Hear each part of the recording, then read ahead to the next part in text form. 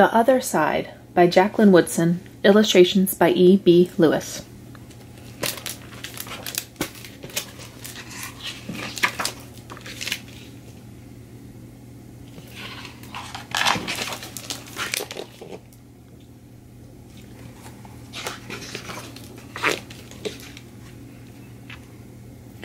That summer, the fence that stretched through our town seemed bigger.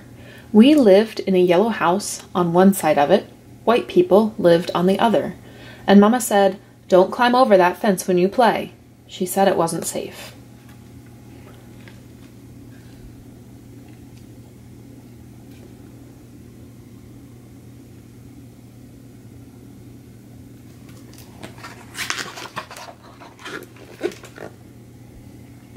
That summer, there was a girl who wore a pink sweater. Each morning she climbed up on the fence and stared over at our side. Sometimes I stared back. She never sat on that fence with anybody, that girl didn't.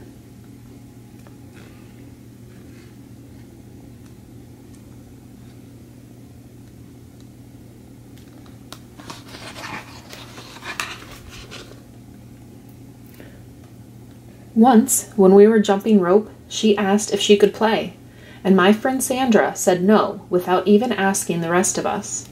I don't know what I would have said. Maybe yes, maybe no.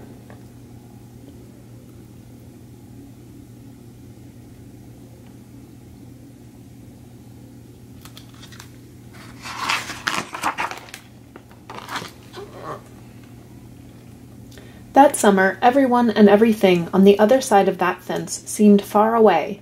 When I asked my mamma why, she said, Because that's the way things have always been. Sometimes, when me and mamma went into town, I saw that girl with her mamma. She looked sad sometimes, that girl did. Don't stare, my mamma said. It's not polite.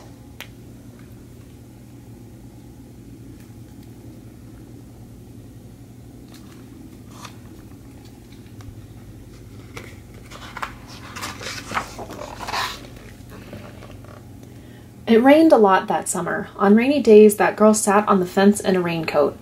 She let herself get all wet and acted like she didn't even care. Sometimes I saw her dancing around in puddles, splashing and laughing.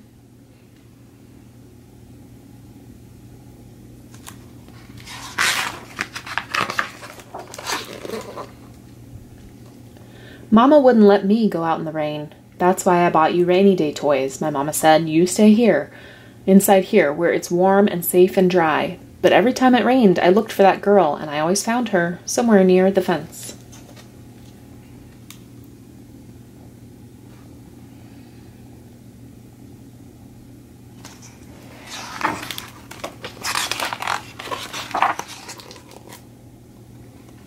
Someplace in the middle of the summer, the rain stopped. When I walked outside, the grass was damp and the sun was already high in the sky, and I stood there with my hands up in the air. I felt brave that day. I felt free.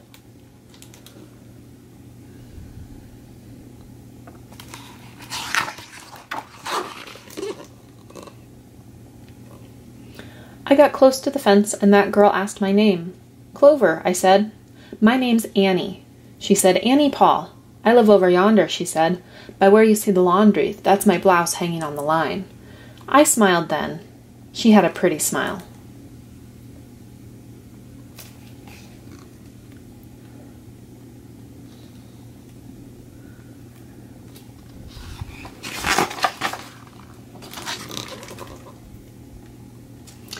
And then I smiled, and we stood there looking at each other smiling. It's nice up on this fence, Annie said. You can see all over. I ran my hand along the fence. I reached up and touched the top of it.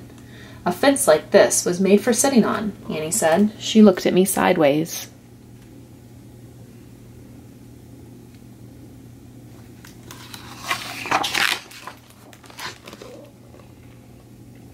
My mamma says I shouldn't go on the other side, I said.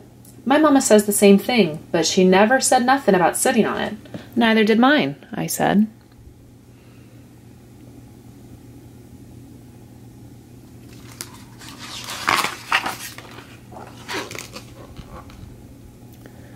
That summer, me and Annie sat together on that fence, and when Sandra and them looked at me, funny, I just made believe I didn't care.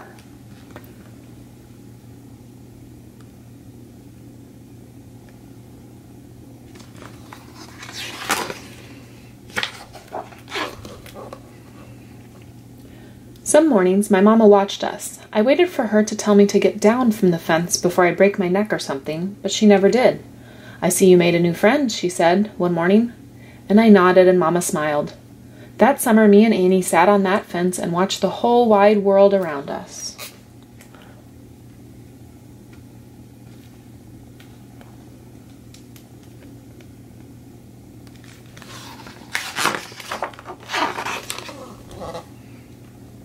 One day, Sandra and them were jumping rope near the fence, and we asked if we could play. I don't care, Sandra said. And when we jumped, Sandra and me were partners, the way we used to be.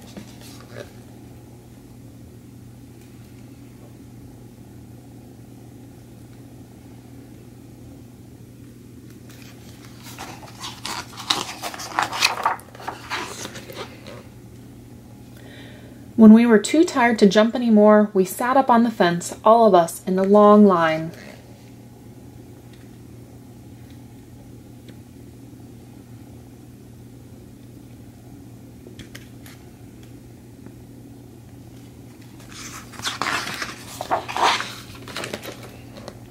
Someday somebody's going to come along and knock this old fence down, Annie said. And I nodded. Yeah, I said, someday.